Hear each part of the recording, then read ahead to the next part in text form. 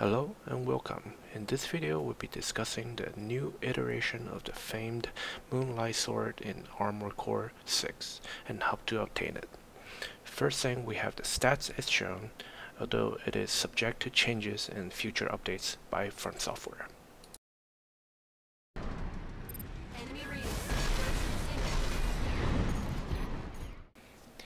Like previous iteration of the Moonlight, this version is also able to shoot out energy projectiles, capable of two consecutive hits and chargeable attack for a single wider projectile wave. You can manually change the target mid-combo to hit two different targets.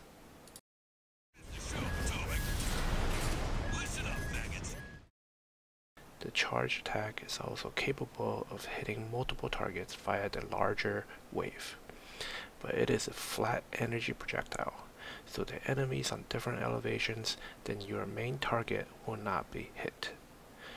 Now, onto the reason you're here. The mission to find the moonlight is Chapter 4 Reach the Coral Convergence. Go through the mission objectives until you reach the larger open area with the bridge. Follow along the bridge to the broken end and look down.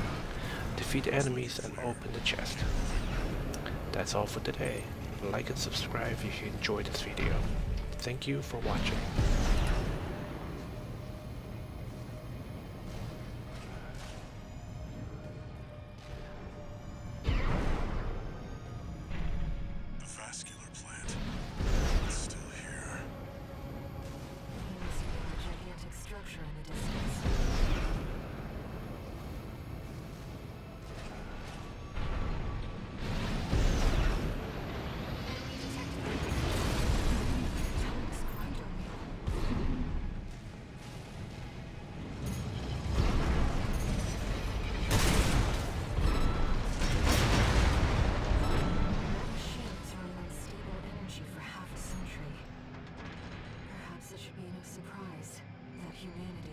Surprise that